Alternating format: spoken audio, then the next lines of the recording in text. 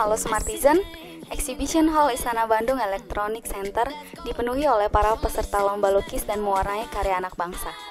Bertepat Minggu 26 Juni 2016, acara ini mengangkat tema kelautan Indonesia bersama dengan pameran Hot Wheels. Lomba tersebut diikuti oleh anak-anak usia 5-13 tahun yang mana dikategorikan dengan TK kelas 1 sampai kelas 3 dan kelas 4 sampai kelas 6.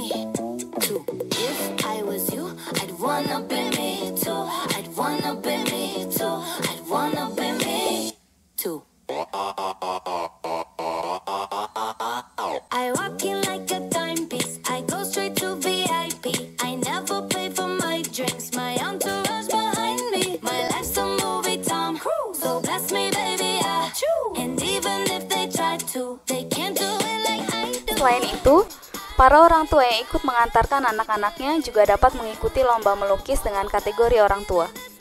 Para orang tua yang tidak mengikuti lomba juga dapat memberikan bantuan kepada anak-anaknya dalam proses melukis dan mewarnai.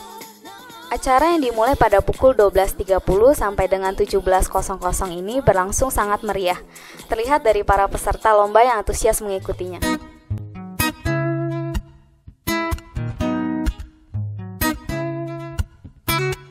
I done been through a whole lot.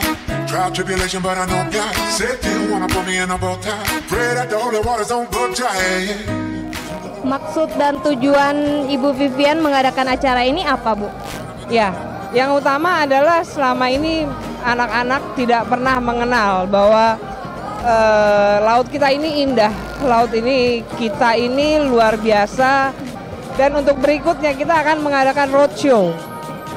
Roadshow roadshow-nya untuk selesai dari Bandung ini kita akan pergi ke Bali. Dari Bali kita akan uh, melanjutkan ke uh, kota Manado, di mana di sana juga ada tentang kelautan. Para peserta lomba menunjukkan kebolehannya masing-masing dalam mewujudkan imajinasinya tentang kelautan Indonesia melalui media kertas dan tote bag.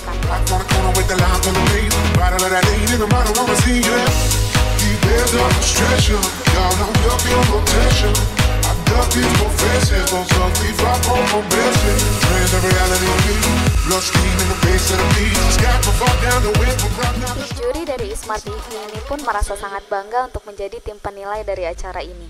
Kegiatan yang diadakan oleh L2M Karaba ini berakhir pada pukul 17.00 dengan pengumuman pemenang masing-masing kategori dengan juara 1 sampai 3 dan harapan 1 sampai 3.